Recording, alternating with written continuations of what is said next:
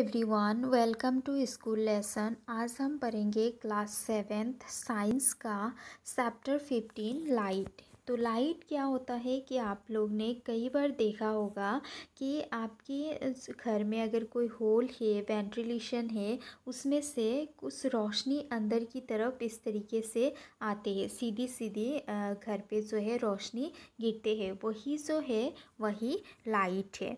तो आपने ये भी देखा होगा जो स्कूटर्स का लाइट होता है या फिर कार्स का इंजिन्स का कोई भी इंजिन्स का और ट्रेन्स का आ, मतलब जो भी व्हीकल्स होते हैं उसमें जो हेड लैम्प्स होते हैं हेड लैम्प्स का मतलब होता है सामने जो लाइट होता है उसमें से आ, रोशनी निकलते हैं या फिर जो टॉर्च होते हैं टॉर्च में से भी आपने रोशनी को सीधी सीधी निकलते हुए देखा होगा। जब आप टॉर्च जलाते हैं तो रोशनी जो है वो तेरी मेरी नहीं निकलते हुए एकदम सीधी तरीके से रोशनी को आपने निकलते हुए देखा होगा।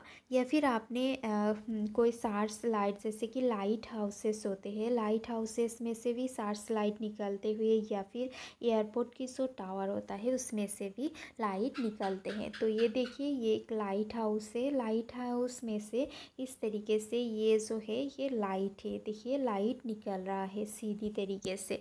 तो ये जो सारे एक्सपीरियंस है, ये क्या बताती है? What do this experience suggest ये सारे एक्सपीरियंसेस क्या सजेस्ट करते हैं? ये क्या सजेस्ट करते हैं कि light travels along a straight line light जो है, वो स्ट्रेटली ट्रैवल करते हैं। स्ट्रेटली कोई भी एक सेस पे, कहीं पे भी गिरते हैं।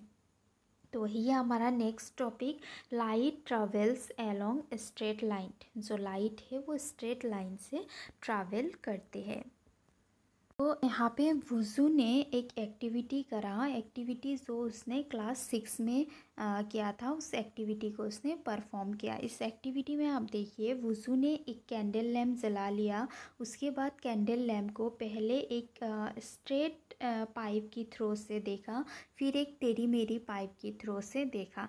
तो वज़ू ने देखा, जब वो स्ट्रेट पाइप से देख रहा था तो जो कैंडल है, वो दिखने लगा था। कैंडल का जो फ्लेम है, वो उसको आसानी से दिखने लगा था। लेकिन जब भी वुज़ू ने तेरी मेरी लाइट से, तेरी मेरी पाइप से कैंडल को देखने लगा, बैंड पाइप से कैंडल को देखने लगा तो उसको जो है रोशनी दिखाई नहीं दिया। यही प्रूफ करते हैं कि light travel along a straight line, light जो है कि स्ट्रेट लाइन से ही ट्रैवल कर सकते हैं। वो कोई बैंड पाइप या फिर बैंड रास्ते से ट्रैवल नहीं कर पाते हैं। तो ये देखिए this activity shows that life light travels along straight line how can we sense the path of light do you know what happens when light falls on a polished or a shiny surface तो uh, आप जो है light की जो पथ है, उसको sense कैसे करोगे? क्या आपको पता है, जब लाइट कोई भी एक सिकना सा सरफेस कोई भी एक साफ़ सरफेस में गिरता है तो क्या होता है? तो हमारा नेक्स्ट टॉपिक है रिफ्लेक्शन ऑफ़ लाइट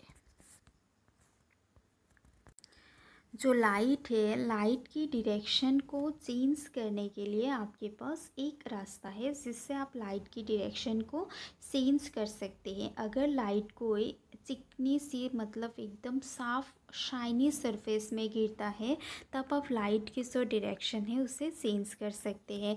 जैसे कि अगर लाइट कोई शाइनिंग स्टेनलेस स्टील प्लेट मतलब अगर कोई स्टील की प्लेट पे आप लाइट को गिराते हैं या फिर एक चमकता हुआ स्टील की स्पून पे गिराते हैं तो आप लाइट की जो डायरेक्शन है उसे आप चेंज कर सकते हैं। या फिर अगर लाइट कोई वाटर सरफेस में गिरता है, अगर साफ़ वाटर सरफेस में गिरता है and sense the path of light तब भी आप जो लाइट का जो डायरेक्शन है, उसे आप चेंज कर सकते हैं कि आपने देखा है कि जो ट्रीज बिल्डिंग्स होते हैं, वो वो किस तरीके से वाटर में दिखता है? मिरर की तरह। इस पिक्चर में आप देखिए, इस पिक्चर में ये देखिए, यहाँ पे कुछ ट्रीज है और ये जो है, ये वाटर सरफेस है। यहाँ पे आप देखिए, ये जो ट्रीज है, इसका जो पिक्चर है, वो इस वाटर में इस तरीके से दिख रहा है, जैसे कि ये वाटर एक मिरर है। है ना? तो मिरर की तरह जो वाटर सरफेस होते हैं, वो मिरर की तरह भी काम करते हैं। यही यही लिखा है यहाँ पर। एनी पॉलिस्ड और shiny water surface connect as a mirror what happens when light falls in a mirror सब लाइट मिरर के ऊपर गिरता है तो क्या होता है? तो आपने क्लास सिक्स में पढ़ा था कि mirror senses the direction of light when it falls on it जब मिरर के ऊपर लाइट गिरता है तो मिरर जो है, उसका डिरे, उसका जो डिरेक्शन है, उसे सेंस कर देते हैं। ये आपने क्लास सिक्स में पढ़ा था।